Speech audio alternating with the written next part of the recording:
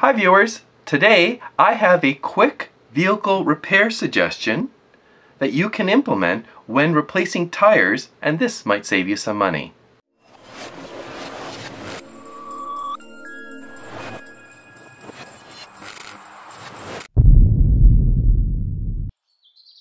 This is the right rear tire of a 2014 Acura MDX.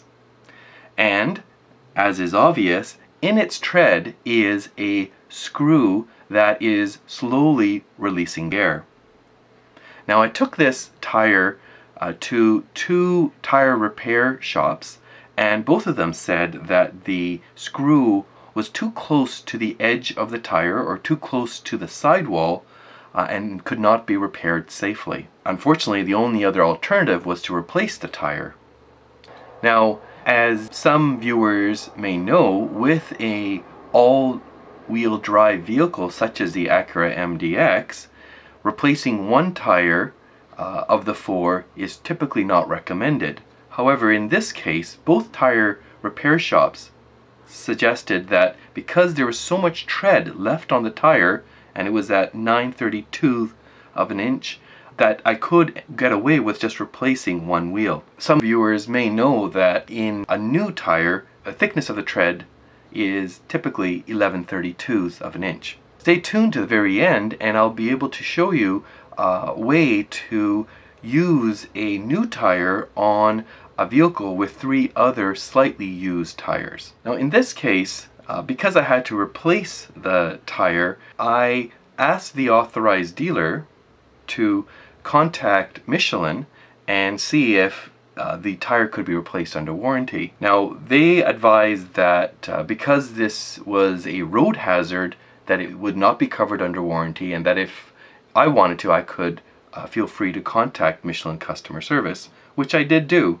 and they too told me the same thing. They said that these tires do have a five-year warranty. The warranty is only for manufacturer's defects and the road hazard would not be covered under that warranty.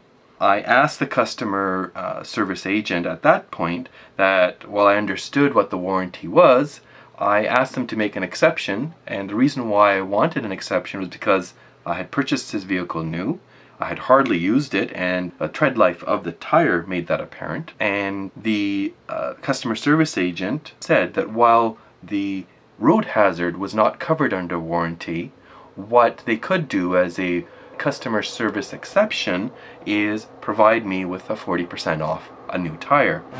And I was very happy and I accepted the 40% off replacement cost of the tire. Here is the actual invoice that Canadian Tire provided to me once they had replaced the tire. As you can see at the very end, the invoice shows a total cost of over $300 what I was required to do is provide Michelin uh, with a copy of this invoice, which I did by email, and they in turn reimbursed me the US equivalent of 40% off just the tire alone.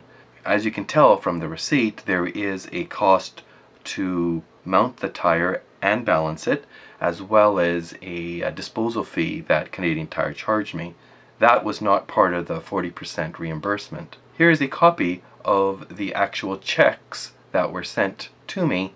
Thanks for watching viewers. I hope this uh, suggestion helps you if you are caught in a situation where your tire does require replacement and can't be repaired. And with regard to the quick tip and suggestion for how to use a new tire when your other three are slightly used, just reduce the pressure of the new tire by 2 to 4 psi and what that will do is that will reduce the circumference of the tire and it will um, reduce the um, difficulty of your uh, all-wheel drive system to make that tire in sync with the rest of the uh, operation.